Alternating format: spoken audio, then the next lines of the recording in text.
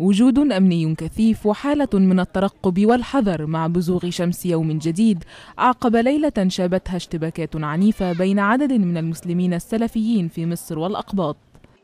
هنا في حي بابا أحد الأحياء الشعبية ذات الكثافة السكانية العالية بالقاهرة الكبرى بدت الأوضاع حاليا تحت سيطرة رجال الأمن إلا أن الكثير من الأسئلة تطرح حول تداعيات هذا الحادث الأخير وإمكانية تكراره فالنيران التي التهمت أجزاء من كنيسة مرمينا بعد أن حاصرها المئات من السلفيين أشعلت معها الكثير من المخاوف بشأن عمق الاحتقان الطائفي في مصر.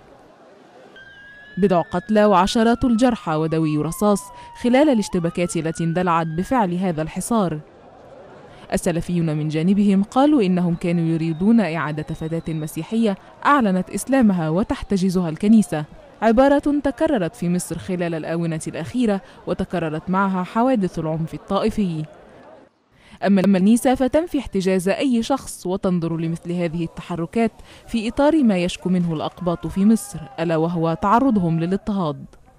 وكانت الكاتدرائية رئيسية في حي العباسية شرقي القاهرة شهدت قبل أيام قليلة وقفة تطالب بمعرفة مصير كاميليا شحاتة وربما كانت كاميليا هي الاسم الأبرز في قضية المسيحيات المعتنقات للإسلام. إذ يزعم البعض أن الكنيسة تحتجزها أيضا رغم إرادتها.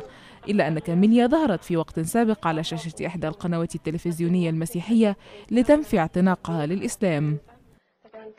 وحتى الآن يبقى ملف التوتر الطائفي في مصر مفتوحا لتكثر بشأنه التكهنات والاستفسارات.